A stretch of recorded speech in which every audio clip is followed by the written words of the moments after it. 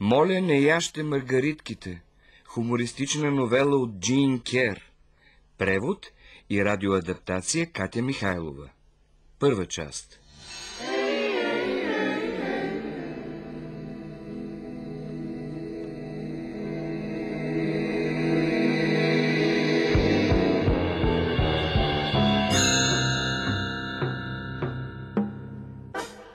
Като се оглеждам назад, ми се струва, че у нас всичко беше наред, докато бяхме двамата с мъжа ми. И имахме само две деца. Ние се чувствахме обичани, защитени и сигурни. Но сега, когато те са четирима, ние двама, нещата вече не стоят така. Ние сме мълцинството. А и не сме така енергични, както преди, което изяснява въпроса защо не можем да се състезаваме с тия малки мъже. Вземете Кристефър, например, който е нашия малко използван 8 годишен син. Трудностите, които той ни създава, идат от това, че него го интересува точното значение на думите. А нашите интереси се ограничават до там да го свикнем да си вдига дрехите от пода. Аз му казвам, Кристофър, изкъпи се и се остави нещата в пералната. А той отговаря, Окей, обаче това ще повреди машинката. На това място бих могла да приключа разговора с хитроумната реплика «Добре, де, нека се щупи». Но на празно се е трупал дългогодишният ми опит, защото на това място питам като изкофяла бабичка, а защо ще се повреди пералнята? И той обяснява. Ей така, ако си сложа всичките неща в нея, ще трябва да не пропусне и обувките, а те сигурно ще щупят машинката. Чудесно, казвам аз, без да губя самообладанието и приветливостта си. Служи вътре всичко, освен обувките. Той веднага включва и ми отговаря със същия весел приветлив глас. Тогава ти наистина искаш да сложа и кола навътре. Не знам какво отговарям в този момент, но мъжът ми ми казва, мила, не трябва да му викаш така. А ето и друг вариант на подобна словесна битка. Не ритай крака на масата. Не ритам, а чукам. Ясно, тогава не дей да чукаш с крак. Не чукам с крака с вилица. А, ясно. Тогава стига си чукал с вилицата. Вилицата е стара. И така нататък, и така нататък. Кристофър е необикновено дете в някои отношения. Наблюдавала съм го от кухненския прозорец, как се покатерва по дървото от среща с градинското гребло в ръка, бързо изтичва по един дълъг клон и рипва на каменната ограда пъргав и грациозен като катеричка. От друга страна, той не е в състояние да мине от една стая в друга, без да се бутне най-малко в два-три от мебелите. Виждала съм го да се удри в пет, но това е рекордно постижение, което не може да постигне всеки път. Той има друг номер, който не подлежи на анализ, а също така е в разрез с закона за земното притегляне. Кристофър може да си върви по средата на съвсем празна кухня и да се спъне на линолеума. Предполагам, че е от линолеума, тъй като там няма нищо друго.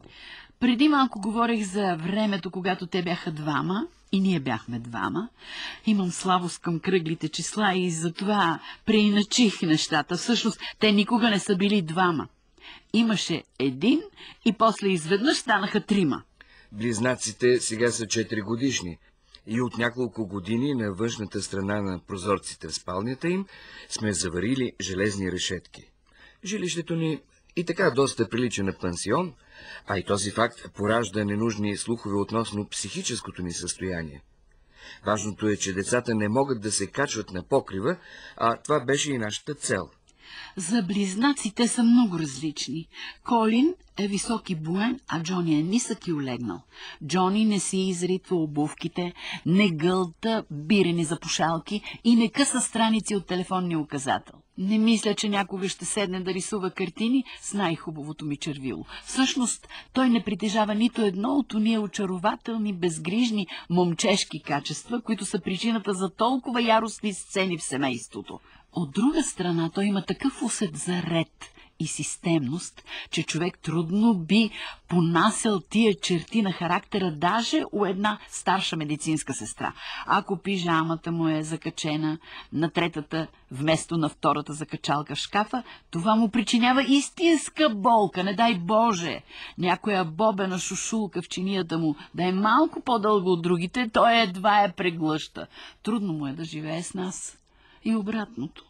Колин е съвсем различен. Той пипа толкова леко и сръчно, че може да извади врата от пантите и за 7 минути, и то само с една лъжица и с старо парче от шмиргел. Джилбърт е само на година и пет месеца и е твърде рано да разправяме за него. Всъщност, можем съвсем добре да го опишем, но просто още не сме готови да погледнем фактите в лицето. Едно време усмивките, бебешкото гукане и кръглите сини очички можеха да ни подлъжат. Обаче сега вече не. Вече знаем, че човека просто чака да му дойде времето. Това, което може да направи днес, е да изяде връзките на обувките си или някой друго копче. Утре целият свят. Истинският ми проблем с децата е, че ми липсва всякакво въображение. Моите забележки се отнасят до извършването на всекидневни нарушения, а кроежите на синовете ми са странни и необичайни. Неделя сутрин Кристофър става много по-рано от останалите и още от много отдавна сме му дали списък с ясни указания. Не събуждай бебето. Не излизай навън по пижама. Не яш бисквити преди закуска. Но никога не съм го предупреждавала да не прави лепило от брашно, за да лепи с него всичките страници на подлисника в неделния вестник. Сега, разбира се, вече му казвам.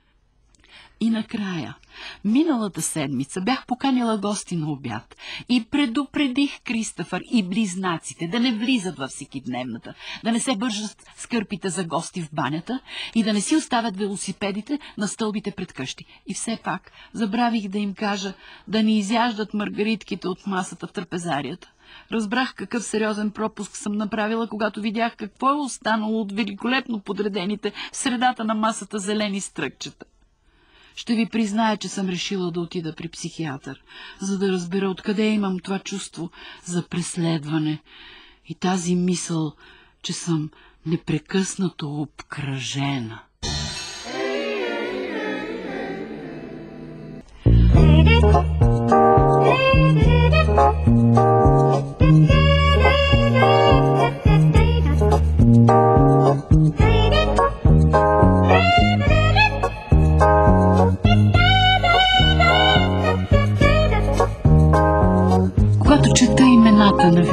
жени, влезли в историята, винаги искам да добавя и името на една жена, моя съседка във Вашингтон. Тя завинаги завладя сърцето ми в един много горещ ден, когато минавах точно под прозореца й и я чух да казва със спокоен мелодичен глас «Майкъл, миличък, мама не иска да вкарваш велосипеда си в пияното». Това значи характер, това значи търпение. Ако това беше моето пиано и моят син... Но хайде да не се впускаме в подробности. И без това безсмисленото насилие в книгите стана твърде много. И ето, че стигаме до същността на проблема. Върхът на амбициите ни е да научим децата си да спазват някои елементарни правила в живота, като не си пъхай пръстите в чинията, не лягай в леглото с долните си дрехи, Дръж се на страна от федералните институции и да стигне някакси до златната средна възраст с незасегнат ларингс. Когато е мой ред да ставам сутрин с тях, след като съм спала само 3 часа, слизам пъргаво по стълбите и изглеждам прелесно със стария халат на мъжа ми. Изправям се, стегната, и оставам поразена от вида на всичките очакващи зле умити детски личица. Казвам си, че е съвсем естествено да са весели в 7 часа сутринта, след което решавам, че трябва да запазя търпение. Търпение, чувате ли? Търпение. Не мисля, че имам достатъчно сили, но трябва да разчитам на себе си, за да поддържам мир и смешно е да се каже тишина. И така, намирам трите загубени обувки, подвързвам буквара на Колин с нова подвързия, средствам цялата къща за 32 цента, парите от млякото и отвързвам Джилбърт, когато са вързали за стола с ковбойски колан, докато съм търсила парите. През цялото време излъчвам так такова безподобно сладникаво веселие, че децата са направо оплашени. Чувам се да казвам с невероятен студен глас, не бива да го удръш по главата с бутилка от Кока-Кола, само защото ти е изял боичките. Когато най-подир сядаме да закусваме, Наблюдавам как близнаците си пишат имената върху пластмасовите възглавници с масло, но успявам да запазя спокойствие. В момента обаче, когато съглеждам Кристофър, който си разбърква портокаловия сок с старо джобно гребенче, нещо прищраква и гласът ми тънък и влудяващ може да се чуе чак в съседния град. Когато бях по-млада и пълна със съветите на доктор Спок, правех една често срещана грешка, като се опитвах да бъда справедлива с децата. Във върховния момент на всяка криза събирах цялата орда от четирите краища на телевизора и задавах двусмислени въпроси със строг глас, като «Кой хвърли календара в туалетната?» Естествено, никой. Сега вече разчитам на слепи инстинкт. Като огледам фактите и като си отговоря на няколко шаблонни въпроса, кой последен е бил в банята и от кого капе вода, хващам вероятния виновник, понаплесквам го и безцеремонно заявявам. Значи ти хвърли календара в туалетната. Това без съмнение не изключва редки случаи на несправедливост, но ще останете очудени, като ви кажа колко са намалели разходите за водата. Друг такъв проблем, свързан с възпитанието на децата, е, че някакси човек винаги изпада в неизгодно, смешно положение, когато разговаря с тях. И не само, че се чувства идиотски, истинската опасност иде оттам, че за нула време и той започва да говори като петгодишно хлапе. Да кажем, че чуете ужасяващо силен трясък от спалнята и изкрещявате. За Бога, какво беше това? Кое? Той е ужасен шум. Какъв шум? Не чу ли този шум? Не, а ти? Разбира се, току-що ти казах. На какво приличаше? Това няма значение, просто престани. Какво да престана? Да вършиш това, което вършиш. Но аз не правя нищо. Въпреки това престани. Ние си зъбите да престана ли? Очевидно така се получава. Що се отнася до мен, знаех си, че или трябва да спечеля тази битка по диалектика, или да потърся съвета на психиатър. Не обещавам, че изходът, който предлагам, дава винаги добър резултат, но у нас вкъщи има добър ефект. Сега вече, когато чуя трясък, просто се провиквам с ясен и строг глас. Ехей! Вдигни си панталоните! Разбира се, абсолютно сигурна съм, че който и да е от тях, ще има поне един чифт панталони на земята. И само мисълта, че трябва да се вдигнат, ще го отклони временно поне от безобразието, което върши. Що се отнася до трясъка? Никога не съм искала да узная какво го е предизвикало. Исках просто да престане. Между другото, най-лошото, което човек може да допусне, когато се кара на децата си, е да им покаже докъде са го докарали с държането си. Например, няма да постигнете нищо, ако се оставите да ви съжаляват и ги питате с плачлив глас. Ще ли ви си да видите бедната си майка в лудницата? Разбира се, че им се ще, но мислите ли, че ще си го признаят?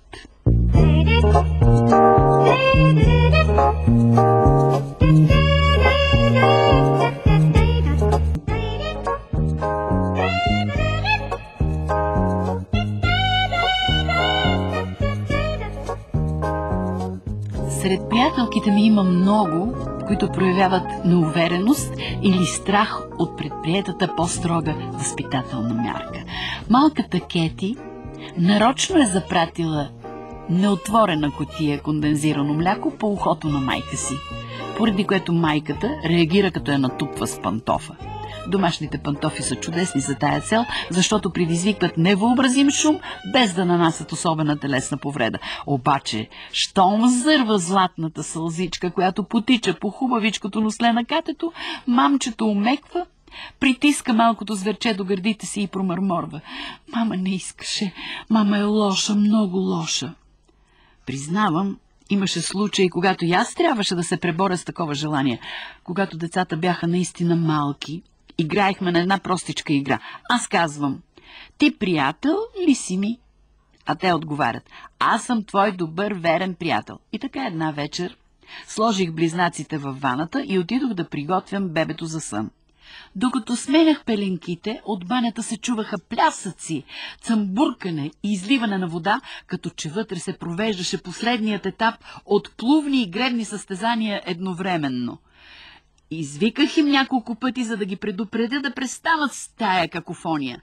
Най-накрая трябваше да оставя бебето в креватчето и да хукна към банята, където натупах всичките налични задничета.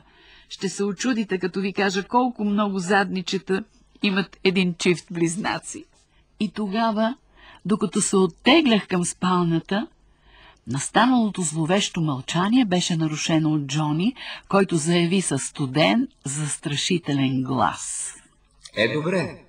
Тя току-що загуби двама добри, верни приятели. Признавам, загубата ми се стори така огромна, че ме накара да се замисля. Дни наред бях без настроение и все пак мъката, която изпитваш след като си наказал децата си, е нищо в сравнение с проблемите, които възникват преди да си ги наказал. Един ден, наскоро след като Кристофър беше тръгнал за училище, открих, че е нарисувал пиратска карта за търсене на съкровища на пода в гаража и то със съвсем новото ми червило.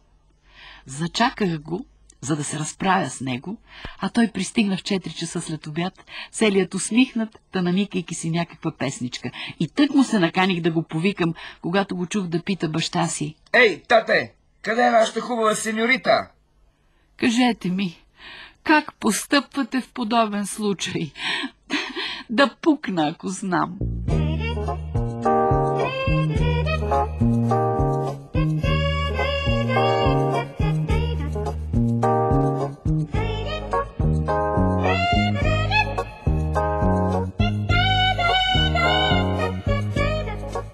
Бях чувала, че многото пиеси и големите разходи убиват театъра, но не мисля, че съм обръщала внимание на това, докато не видях сезонът на снежинките, коледна пиеса на третокласници от едно училище в Лашмон.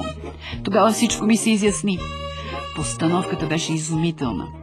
Имаше хор от 60 ангели, облечени в прозрачно булчинско розово, които изпяха три пъти една коледна песен. Допълнително имаше още 60 ангели в бяло, които подаваха станиолови звезди на ангелите в розово. Имаше и 20 войници играчки в червени кадифени униформи с златни пушки, 19 от които можеха да маршируват и назад. Имаше и 120 танцори от всякъде, но най-вече от балканските страни. Имаше две плашила, които не танцуваха, а тропаха, и 12 пружинени човечета. О, всичко беше чудо-чудо, наслада за очите невероятен успех и разбира се, никога няма да могат да се покрият разноските, независимо от скъпите билети и осигуреното посещение. Залата е с 600 места, като всяка майка слага до себе си и на скута си едно-две деца, в зависимост от ширината на майката. Осем годишният ни син, който трябваше да представлява подарък и беше обвит в тънка хартия с червена панделка, беше готов да заплаче, тъй като две от войничетата махаха на публиката. Когато аз бях в трето отделение, въздържахме се да представяме бурлески и фарсове. Всъщност не, че се въздържахме, а просто изобщо не бяхме ги чували. Ние правехме големи пиеси с малко средства, но с такова себеотрицание и съудайност, като че бяхме филмови актьори, ангажирани в пиеса от Ипсен. Аз, например, винаги играех най-високия овчар. Носех стария татков халат, и в стремежа си да се представя като един много-много стар овчар, пръщях и коткодяхах като късовълнов радиоприемник. Сега човек едва ли ще види овчар на сцената. Що се отнася до училището в Лършмон, почувствах едно отдръпване от сериозния театър много преди коледа. Преди няколко седмици най-големия ни син се прибра от дома и ни съобщи, че ще играе в пиеса на противопожарната охрана. Костюма му щял да бъде извънредно прост, тъй като щял да играе задна гума. Запитах го в какво точно се състои ролята му, а той каза, а, накрая се спуквам и толкова. Това, което искам да зная е дали това ще го подготви да играе такива големи роли, като ролята на крал Лир или поне на предна гума. При това положение едва ли ще го дочакам да изиграе крал Лир. Много по-лесно ще е да ушия костюма. Предполагам, че за бездарните всички костюми са трудни. Преди известно време Джон, 4 годишен, се прибра в къщи с някаква жълта хартийка, закопчана на ръкавчето му, в която се съобщаваше, че неговата детска градина ще представи пиеската Снежко. А Джон, о чудо на чудесата, ще играе самия Снежко. Можете да направите костюма от някой износен чершав. До тук бе ясно. Следващото изречение обаче бе съвсем необяснимо. В първото действие, пишеше учителката, Снежко трябва да е полуразмразен. Защо на мене тия? Както обясних на Джон, изграждането на образа е работа на актьора. Аз правя само костюми. Джони затопурка към тавана и отгоре се чу вик пълен с болка. Маминко! Това беше трагичният глас на цар Едип, но нашите чершафи са зелени. Така беше наистина. Преди няколко години ми бе хрумнало да накупя цветни чершафи. Бих искала да видя някой от производителите на чершафи, които се надпреварваха да хвалят стоката си, да се опита да съши от тях костюм за снежен човек. И въпреки трудностите, костюмът не можа да ми се опре. За по-малко от месец, лишавайки се от обяд, приготвих всичко. Дойде дългоочакваният ден. Джони беше великолепен снежко. Изпълнението му беше издържано до най-малките подробности, леко, нежно и блестящо. Когато се покланяше, залата се затресе от аплодисменти, при което той също си заръкопляска с ентусиазъм. Стори ми се, че го слушам в Конгреса след 40 години, говорейки за себе си като за способният сенатор от Нью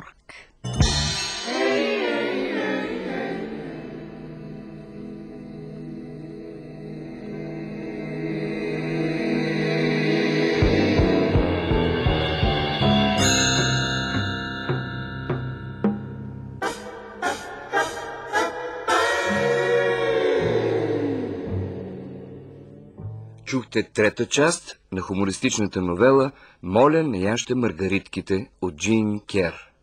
Участваха Татяна Лолова и Валентин